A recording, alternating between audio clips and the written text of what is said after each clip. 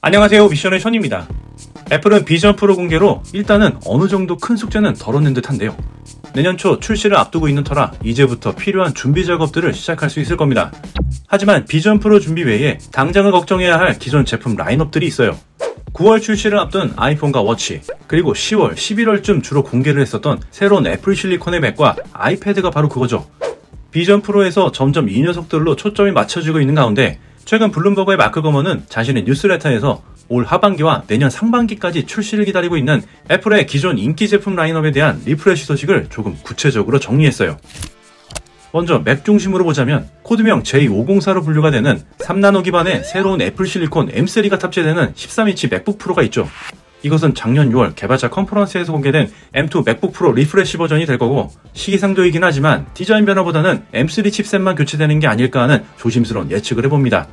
그리고 코드명 J514, 516으로 분류되는 하이엔드 모델인 M3 프로, M3 맥스의 14인치, 16인치 맥북 프로가 나올 텐데요. 이 제품은 과거 히스토리를 좀 봐야 할 것 같아요. M1 출시 후 M1 프로가 약 1년 뒤에 나왔고 M2 출시 후에는 M2 프로가 6개월 뒤에 나왔어요. M3가 만약 올해 10월쯤 출시가 된다면 M3 프로, M3 맥스는 내년 6월경 개발자 컨퍼런스에 출시될 수도 있습니다만 이 경우의 수는 조금 애매해요.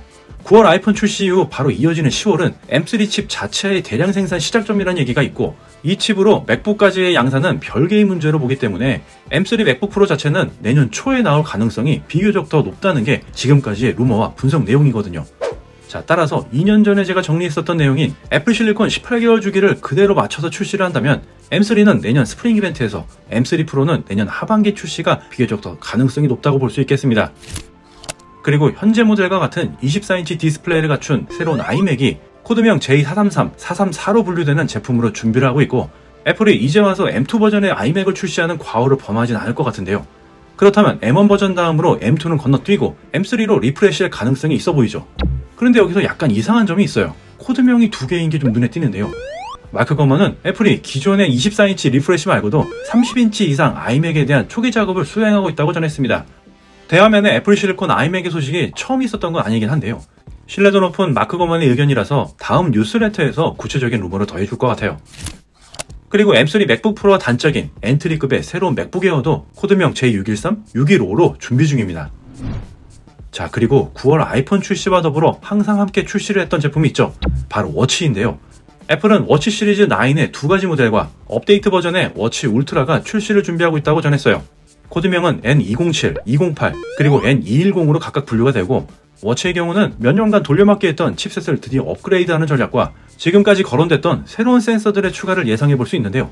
하지만 그 외에 어떤 스펙으로 새롭게 나오게 될지 구체적인 루머는 아직 없습니다. 추가되는 내용이 있으면 커뮤니티나 영상으로 다시 한번 정리해 드릴게요. 자, 그리고 이제 마지막으로 아이패드인데요. 지난 영상에서 아이패드 프로의 refresh는 올해 출시되지 않을 거란 마크 거먼의 소식 기반으로 전한 바가 있었어요. 그래서 당장 가까운 미래는 아니지만 OLED 디스플레이로 개선된 아이패드 프로가 코드명 J717, 720으로 출시를 준비하고 있고 코드명 J507로 분류되는 현재 M1 기반의 아이패드 에어의 refresh 제품이 있다고 합니다. OLED 아이패드 프로는 2년 전부터 있어왔던 루머라서 12.9인치 미니 LED의 업그레이드로 예상이 되지만 11인치 버전이 미니 LED로 업그레이드 될지 어떨지 이건 좀 지켜봐야 하겠습니다. 자, 지금까지 빠르면 하반기에 볼 수 있는 M3 맥북 프로부터 애플워치 그리고 아이패드에 대한 업그레이드 출시 소식을 짧게 정리해봤습니다. 구독자 여러분들께 많은 도움 되셨길 바라면서 혹시 궁금한 사항이나 추가 의견이 있으시면 댓글로 공유해주세요.